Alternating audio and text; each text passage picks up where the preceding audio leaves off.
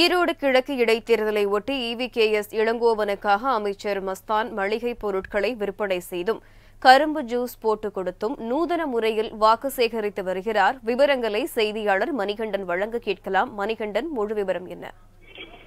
வணக்கம். ஈரோடு கிழக்கு இடைத்தேர்தலை பொறுத்தவரையில இன்னும் ஐந்து நாட்கள் மட்டுமே பிரச்சாரம் செய்வதற்கான தேதி இருக்கிறது. இந்த ஐந்து நாட்கள் ஒட்டுமொத்தமாக தமிழகத்தில் இருக்கக்கூடிய போட்டியில் இருக்கக்கூடிய அனைத்து கட்சி நிர்வாகிகள் தொண்டர்கள் என மொத்தமாக ஈரோடு கிழக்குல முகாமிட்டு பிரச்சாரத்தை மேற்கொண்டு வருகின்றனர்.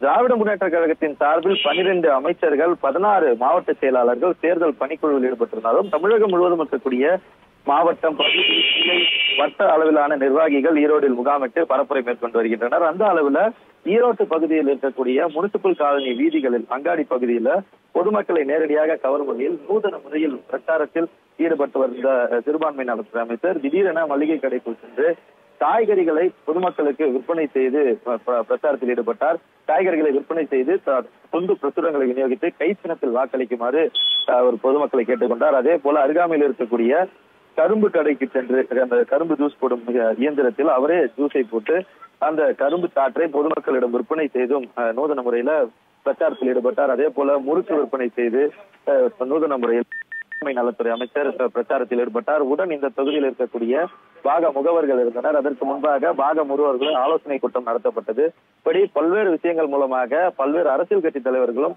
தீவிரமான பரப்புரையில் ஈடுபட்டு வருகின்றனர்.